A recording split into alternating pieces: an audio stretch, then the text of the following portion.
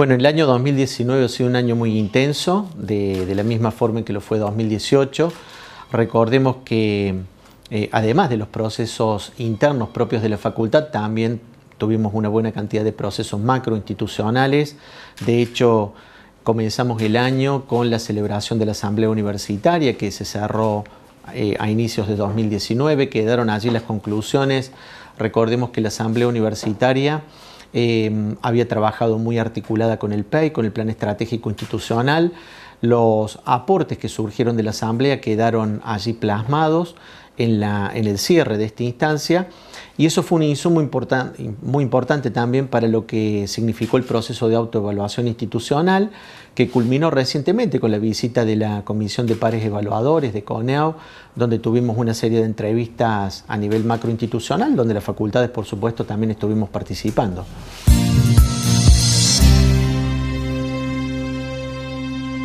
En lo que se refiere a facultad, Em, también hemos tenido el desarrollo de distintos procesos en términos de acreditación, el informe final de la acreditación de la Escuela de Enfermería que logró la calificación máxima, la acreditación por seis años a nivel Mercosur y también eh, abogacía que este año Em, transitó la continuidad del proceso de acreditación con la visita de pares evaluadores y también de la misma manera este año hemos completado lo que se refiere a acreditación de carreras de posgrado eh, para el caso de la facultad, el doctorado y la maestría en ciencias sociales. Quiero destacar el trabajo en equipo porque la verdad que em, independientemente de la inmensa producción que se ha logrado en cada una de las secretarías de la facultad, Em, lo que se ha logrado y se ha podido eh, trabajar con mayor significación este año es la articulación entre distintos espacios de facultad. De hecho, tuvimos una convocatoria conjunta que fue muy exitosa entre la Secretaría de Posgrado, la Secretaría de Investigación e Internacionalización y la Secretaría de Vinculación Institucional. Han sido proyectos muy bien recibidos por los departamentos de la facultad que han participado activamente. Eh, y el trabajo en equipo no tiene que ver únicamente con la conformación de un equipo de gestión, que de alguna manera es significativo como tal, porque es el equipo y no las personalidades lo que permite la atracción de una gestión, de una gestión efectiva. Eh, también quiero destacar el trabajo en equipo en el Consejo Directivo de la Facultad, un inmenso trabajo eh, donde también, eh, hay que decirlo, es muy sano que puedan estar participando distintas perspectivas, distintas visiones políticas de facultad. De hecho, nosotros trabajamos conjuntamente en una conformación de consejo que tuvo la participación de otra lista que en algún momento se presentó en el proceso electoral de consejo directivo y la verdad que ha sido muy, muy satisfactorio, un trabajo muy colaborativo, muy articulado y con un norte común que es el bienestar de la Facultad de Ciencias Humanas y su proyección en el contexto de la institución. En Secretaría Académica se ha trabajado fuertemente, se sigue trabajando todo lo que tiene que ver con el proceso de innovación curricular, se acompaña a los departamentos en esto, también se ha trabajado mucho lo que se viene ahora, que es la mm, propuesta de bueno, lo que significan las inscripciones en las distintas carreras, entonces la promoción de aquellas carreras que por allí están un poco más relegadas en términos de su matrícula y fundamentalmente un impulso muy marcado a los profesorados. También se ha trabajado fuertemente desde Secretaría Académica y creo que eso se ha hecho muy evidente fundamentalmente en los medios de comunicación de la facultad, toda la problemática en torno a la cuestión de género. Eh, eh, en ese sentido creo que la facultad viene trabajando protagónicamente la temática. Eh, hemos trabajado fundamentalmente algunos dispositivos de difusión porque entendemos que esto, independientemente de las estructuras que se puedan generar, significa fundamentalmente un cambio de cultura, un cambio cultural. Y en ese sentido la facultad apuesta a contribuir con distintos dispositivos que vayan dando cuenta de ese cambio cultural.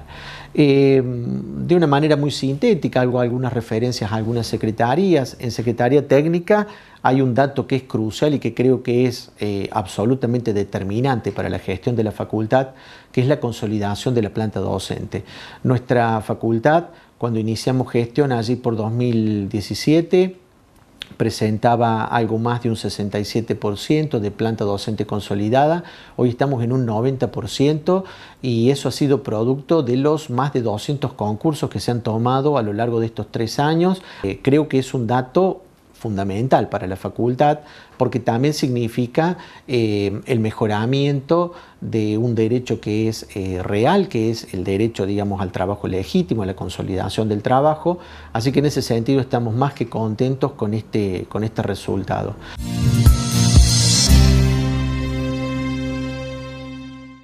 Eh, también en Secretaría Técnica se ha trabajado la reforma de facultad, una obra largamente esperada por nuestra facultad, ya ha sido remodelada, una obra de más de 5 millones de pesos que fueron aportados por el área central, pero que significaron también la administración y, el compromiso de la facultad en términos del desarrollo de esta, de esta obra. Eh, entendemos que la obra también tiene una repercusión muy significativa en términos de cultura del trabajo, porque eh, los nuevos diseños significan un trabajo más colaborativo, abierto, eh, un poco una gestión de la mano de, un lema de gestión ¿no? que, pretende la transparencia y, resultar abierta para todos los actores de la facultad. Eh, también quisiera destacar el trabajo en vinculación. Nosotros ya no tenemos Secretaría de Extensión, tenemos una Secretaría de Vinculación Institucional y Social. Em, que no se queda únicamente en una concepción de, nombre de secretaría, sino que a través de una política explícita intenta promover el lazo social con las distintas instituciones a través de las prácticas sociocomunitarias que también están ancladas en secretaría académica a través de distintos proyectos, la facultad ha apostado fuertemente al financiamiento de proyectos. Eso también ha determinado que la facultad hoy en términos económicos culmina el proceso con algo más del 96-97% de presupuesto ejecutado. O sea, no hemos quedado sin dinero porque hemos eh, cumplido con lo que significa la responsabilidad de gestionar fondos públicos y afectarlos a proyectos y a políticas de secretarias que, como decía, han tenido este financiamiento. Em, para el caso de la Secretaría de Extensión se han, eh, financiado una buena cantidad de proyectos, algunos en articulación con otras secretarías, también hemos hecho lo propio en la Secretaría de Investigación a través de una convocatoria interna para becarios de investigación. En posgrado tenemos en pleno funcionamiento el doctorado y la maestría en Ciencias Sociales, también la maestría en Lengua Inglesa con sus dos menciones, la especialización en Docencia en Educación Superior, que es una carrera que articula con dos facultades también, la diplomatura en Derechos Humanos,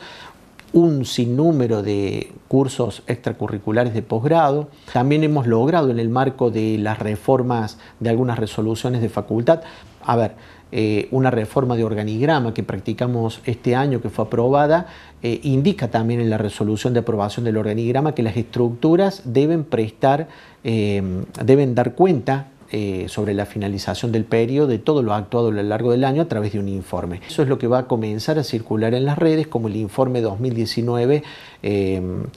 que, de alguna manera se suma al informe 2018 y el informe 2017 que fueron eh, puestos a disposición de quien quisiera consultarlos a lo largo de todo este proceso de gestión.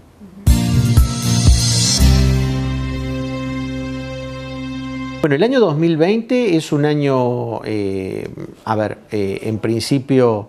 tenemos que tener en cuenta que hay elecciones en nuestra universidad, hay elecciones en las facultades, pero son elecciones que no se corresponden únicamente con decanato y vicedecanato, sino también con consejo directivo y consejo superior.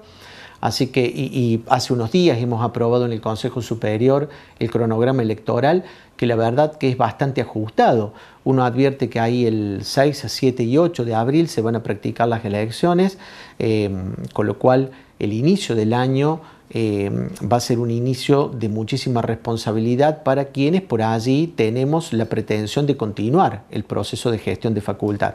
De hecho, nuestro equipo lo vamos a proponer, esperamos el acompañamiento de la Facultad de Ciencias Humanas. Yo destaco nuevamente un aspecto que me parece que no es menor, esta es una posición personal, pero muy compartida con distintos colegas con los que hemos estado conversando. Hoy el desafío tiene que ver con la conformación de equipos, em, realmente la gestión, las características de la gestión hoy eh, nos limita muy mucho en términos de lo que pueden ser representaciones personales. Además, yo soy un convencido de que una persona no reúne en sí misma las condiciones para actuar en todos los espacios que hoy eh, reclaman el accionar institucional. Eh, así que me parece que es un momento interesante para pensar fundamentalmente la conformación de equipos. Y creo que esa puede ser una de las preguntas eh, más significativas que puede tener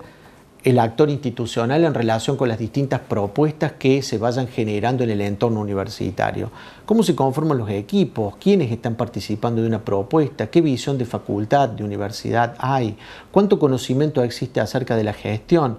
Eh, me parece que son preguntas que van muchísimo más allá de lo que pueden ser simpatías, eh, o, por allí acompañamientos personales. Porque vuelvo otra vez sobre esta cuestión, me parece que hoy, eh, no solo en la universidad, sino en la institución pública de manera genérica, hoy la gestión reclama fundamentalmente la conformación y la articulación de equipos. Es la única manera, digamos, de poder traccionar escenarios tan complejos como los que hoy presenta no solo la universidad, sino un sinnúmero de instituciones. Nosotros hemos trabajado durante tres años para tratar de mm,